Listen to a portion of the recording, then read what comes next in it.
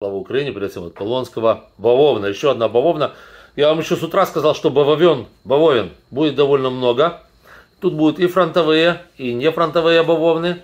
Вот, но постепенно вот раскручиваем этот клубок, который произошел за прошедшие сутки, когда расистам булоны в Переловке. Это, как говорится, да, такое выражение по-украински. Я думаю, что все понимают. Да, так вот, друзья мои, уничтожение группы российского спецназа или же по-другому, как мы привыкли говорить, мальчиков в трусиках в Белгородской Народной Республике, которая временно, по недоразумению, находится в составе так называемой России. Почему так называемой? Потому что имя ворованное, история ворованная, а Путин сами знаете кто.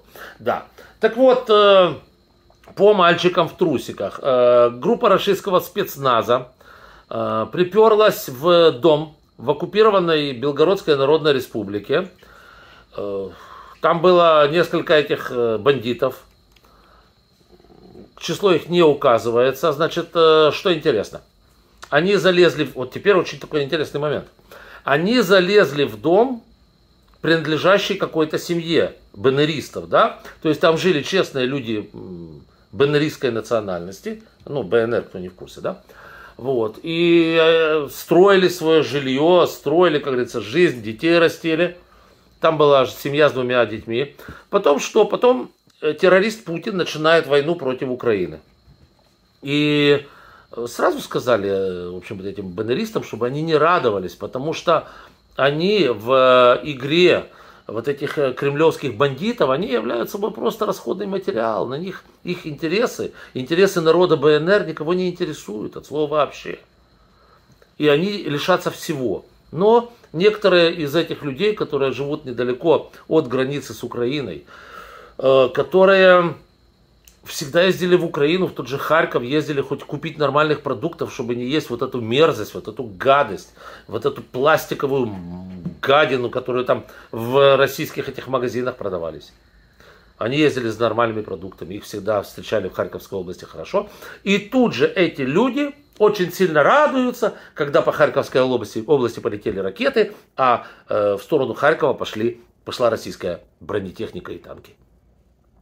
И они думали, что это нормально, ну, как бы, ничего, ну что, ну вот мы там проведем спецоперацию, там заберем Киев за три дня, и все, все закончится.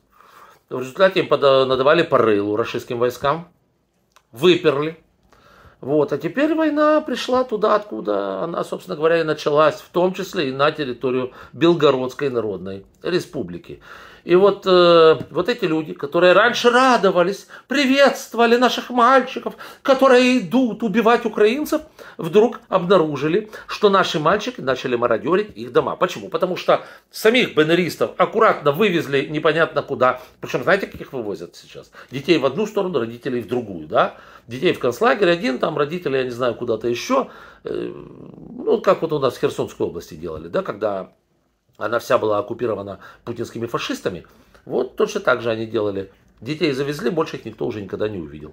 Им там сейчас меняют имена, фамилии. Но это уже известная история, это акты геноцида, которые сейчас расследуются Международным уголовным судом. Приблизительно такая же картина на сегодня в БНР. То есть этих людей вывезли, дома от них, так сказать, освободили. Ну, Путин же сказал, что будет зона безопасности, или как он там сказал, серая зона, не знаю.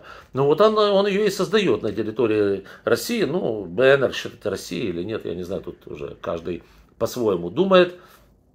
И вот, э, значит, путинские бандиты и террористы зашли в дом, очищенный от бандеристов, от жителей Белгородской Народной Республики, от их детей, но еще не очищенный от их имущества.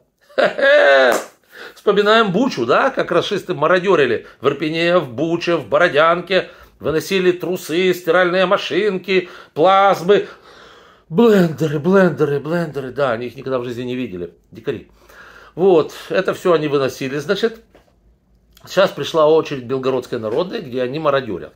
И вот э, зашла, так сказать, группа спецназа. Расисты утверждают, что в этот дом они зашли, э, готовясь, это в пяти километрах от границы, готовясь к э, заходу на территорию Украины с какими-то там своими очень такими спецназовскими целями. А я себя спрашиваю, стоп, стоп, стоп. Если бы они с утра, как они вот говорят, хотели бы зайти на территорию Украины, ну хрен бы они располагались в пяти километрах от границы, ну честное слово. Захекаешься потом туда ехать, а будешь ехать на джипе к э, Украине, ну, во-первых, засекут джип и вас уконтропупят сразу, а во-вторых, э, ну разоб... дрон разобьет сразу же. То есть, если они действительно ставили целью а, перейти границу с Украиной в районе Харьковской области и там нанести какой-то нам ущерб, то выглядело бы это немножко по-другому, а располагались бы они последнюю ночь, ну, совсем не в пяти километрах от границы. Вот. Поэтому вот расположились они там на ночевку, но опять же надо понять, что наши дроны висят на территории Белгородской народной 24-7. Всегда. Естественно, наши увидели бандитов, которые заходят в оставленные баннеристами дома. Вот. Ну, прилетел дрон, как говорится. А, и этот дом, как говорится, вот вместе с баннеристами, ой, с баннеристами, баннеристы, слава богу, там не были. Там были путинские эти маньяки, убийцы, э, садисты и педофилы. И, собственно говоря, им по башке и прилетело. От дома ничего не осталось. И, ну, говорят расисты, что там четверо двухсотых этих, э, так, так сказать, спецназовцев. Вот. Ну, я не знаю, насколько это спецназовцы-спецназовцы. Вот. И насколько их там было 4, а не больше, потому что эта информация пока опять-таки от расистов приходит. Но я вам скажу одно. Скорее всего, это все-таки был спецназ по мародерству. Еще раз говорю, ряд признаков говорит мне о том, что будет это спецназ-спецназ, он бы располагался где-то в другом месте. Вот. Ну а так, как говорится, зашли в дом, начали выносить вещи устали, значит, паковать вещи, стомылись, да, прилегли немножечко, там, почевать, наверное, еще и водочки, водовки хлебанули, как у них принято, вот, ну и тут прилетел злобный украинский дрон.